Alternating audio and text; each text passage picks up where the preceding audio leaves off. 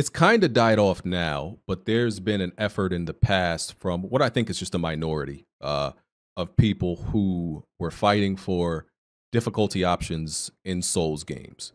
Um, it's, uh, in my opinion, it's a good thing that they haven't folded. Uh, FromSoftware or any of these other developers really haven't folded. Um, but what's your perspective on people who who wanted those difficulty options?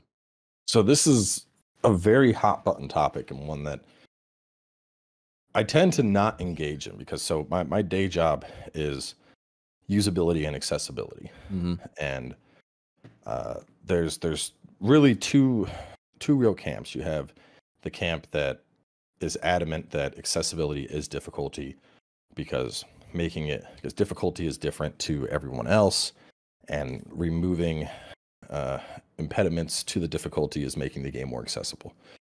I am more of the thought that there is accessibility and approachability, and I feel that difficulty is an approachability setting in the context of games, not accessibility. When I think accessibility, I specifically think modifiers that are going to help someone overcome a explicit impediment or disability in some context. Stuff like color blindness settings, stuff like custom button mapping, uh, stuff you know, hold the button instead of tap it.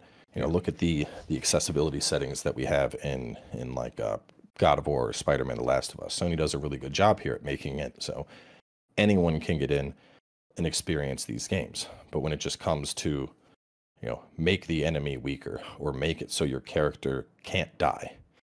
To me, that falls more into the approachability camp because we're, we're, it's not just about overcoming an impediment; it's about just making it so that there there is no difficulty curve. And I think part of the essence of those Souls games, of those difficult games, is overcoming that difficulty. You know, if I was going through Dark Souls or Elden Ring and there was an option where I just could not die. To me, that doesn't feel like a Souls game anymore. And right, yeah, at the most basic level, more people could experience it, but they're not really even experiencing what it is anymore. Like, mm-hmm. you know, rounding a corner and falling trap into an ambush. That's a lesson that you take away, you learn from, and you overcome it on a subsequent encounter.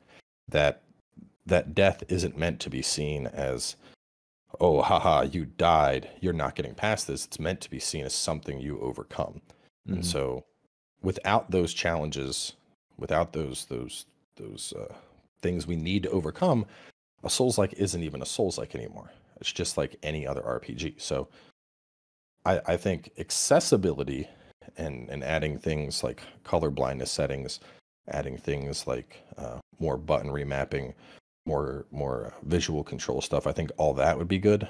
But I'm not in favor of directly modifying difficulty or adding invincibility modes or anything like that, because I think the the barrier to approaching a Souls game and overcoming those challenges is what makes it a Souls game. I think there's an audience that they they specifically they want those challenges.